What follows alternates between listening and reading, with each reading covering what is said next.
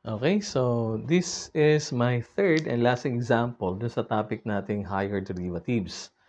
At ito rin yung application of higher derivatives dun sa topic nating kinematics sa physics. Okay? So, given a position function of a particle s of t equals t cubed minus 5t squared plus 8t minus 1. Now, the unit of the distance traveled of this particle is in meters. So, ibig sabihin, we can determine the distance traveled of this particle kapag given yung time traveled ng itong moving object na to. Okay? Now, the required is A, distance of the particle after 2 seconds, B, velocity after 4 seconds, and C, acceleration of the particle after 5 seconds. So without calculus, without the topic about derivative, ang hirap makuha ng ating um, uh, velocity and acceleration of this particle at a specific time na nakabanggit dito. But for letter A, madali lang. All we have to do is to substitute 2 to s of t to determine the distance traveled of this particle after 2 seconds. Okay?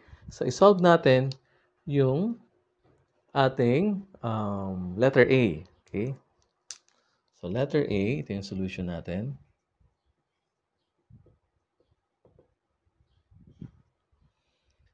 So, ang kailangan natin, S of 2, no?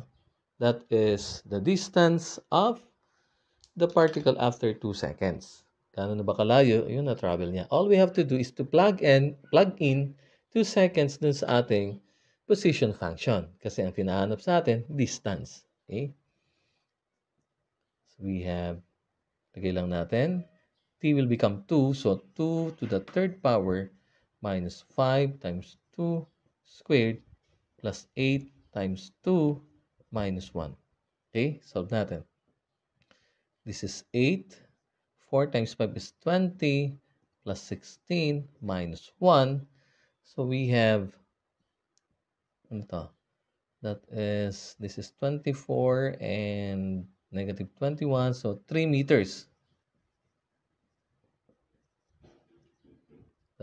So, ibig sabihin, after 2 seconds, ang natakbo na ng moving object na to, ng particle na to, is 3 meters. Okay?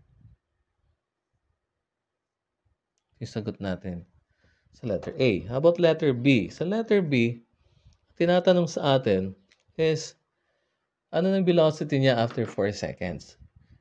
Kung natatandaan niyo pa dun sa aking first video about higher derivatives, the first derivative of the position function is equal to the velocity function. So, ang gagawin natin, kunin natin yung first derivative of the position function. The position function is s of t equal to t cubed minus 5t squared plus 8t minus 1. So, kunin natin si s prime of t, o ito yung ating ds over dt, at dito ay equal sa velocity function. Okay? Ano yung first derivative? 3 times 1 is 1, ah, 3. Then, decrease natin exponent by 1. Minus 2 times 5 is 10t plus 8. Okay? So, ito na yung ating velocity function. Letter B, ang tinatanong, ano kanyang bilis? So, unit ng velocity, that will become meter per second na. Okay?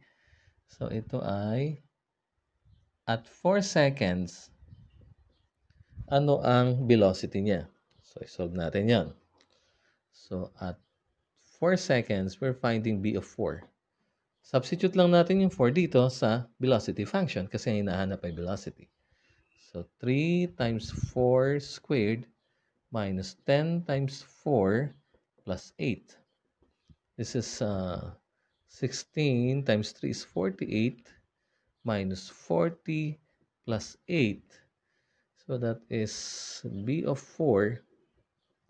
That will be 8, 8, 16. So that is 16 meter per second. So ito na ang kanyang bilis after 4 seconds.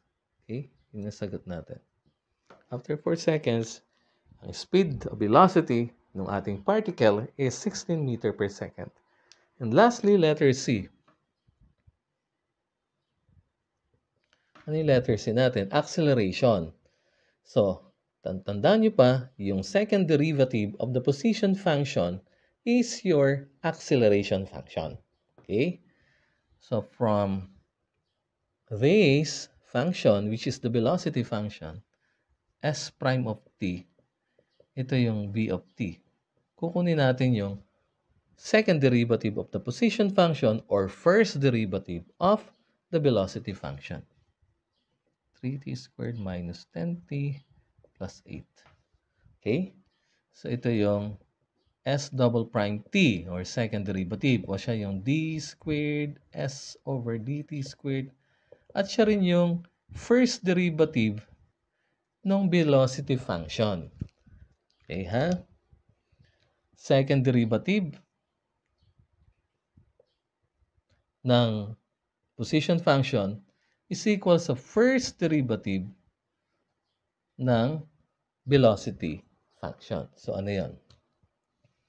So, we have 60 minus 10. At yan yung ating tinatawag na acceleration function. Okay? Ito si acceleration function, A of t. Okay? So, ang tinatanong sa atin, acceleration ng particle after 10 seconds. So, kunin natin yung acceleration after 5 seconds. So, at t equals 5 seconds. Okay? Again, ano nga ba yung ating acceleration function? Acceleration function a of t equal to 60 minus 10. Kailangan natin acceleration after 5 seconds. A of 5. So 6 times 5 minus 10 equal to 60, oh, sorry, 30 minus 10, that is 20. Ang unit ng acceleration, meter per seconds per seconds or meter per second squared. Okay? So, ito na yung sagot natin.